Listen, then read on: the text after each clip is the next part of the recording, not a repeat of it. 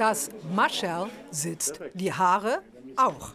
Gerhard Todt macht sich fein für einen weiteren Ballabend. Rund drei Dutzend Bälle hat er in dieser Saison bereits abgetanzt. Bei ihm und seinen Kollegen von Routine trotzdem keine Spur. Natürlich, der Adrenalinspiegel ist natürlich immer da, vor dem Ball.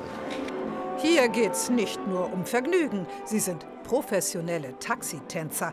Ballveranstalter engagieren sie für Gäste ohne Tanzpartner.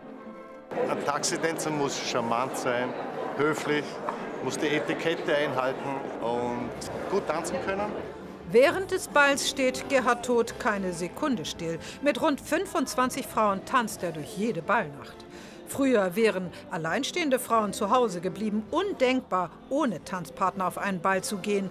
Doch heute? Nein, ich bin mit Freundinnen hier. Also ich bin, bin nicht alleine hier. Ich bin ohne Partner hier am Balldienstag und ich habe ihn gesucht, den Tänzer, den Taxitänzer. Emanzipation ist das für die Damen ein Geschäftsmodell für Gerhard Todt. Die Agentur Taxi Dancer führt er seit 25 Jahren mit 60 bis 70 männlichen und einigen weiblichen Taxitänzern. Sie kommen gut an, auch bei so manchem Ehegatten. Also was öfters einmal vorkommt, dass der Mann zu mir kommt und sagt, bitte holen Sie mal meine Frau zum Tanzen.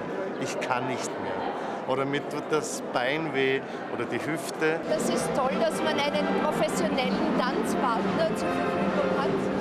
Würde ich gerne öfters machen. Ich kann nicht so gut tanzen und er hat mich sehr gut geführt. Ja, es, war, es war eine schöne Erfahrung.